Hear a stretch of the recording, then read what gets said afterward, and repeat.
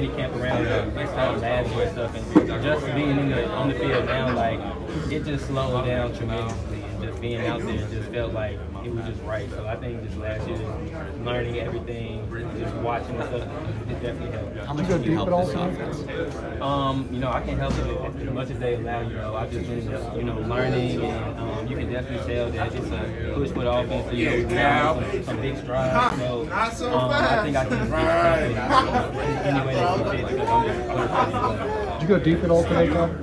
I did go deep, but you know, it was a little far out there. I just had to grind to get that one. But you know, um, as you can see, you know, we got some big, some, some, some big plans. So um, hopefully there'll be a, a lot more of those. Did you blow it out 100%? Not, not yet, but you know, we um working our way to that. You know, so I'll definitely say we're gonna definitely be, a- be, be able to hit a lot of those this year. How you describe what it's like having a work? It's great. Um, just from a standpoint that it's almost like, you know, I've kind of prided myself on working and grinding all that, but having someone like him who's almost does it even more, you know, it just makes you push even more. And um, he gonna make sure you on your pay game. And that's the thing with like having a, having a quarterback like that is what is what you want because he gonna bring everybody else up with him, and nobody else gonna be able to stay where they are. You got to either be at his level or get left behind.